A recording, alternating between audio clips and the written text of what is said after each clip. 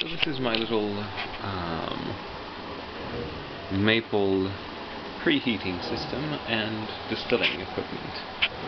Simply put, the maple sap is in this uh, pot. The vapor goes through the condensing coil here. The hot water heats up my uh, well my leftover maple water and maple ice.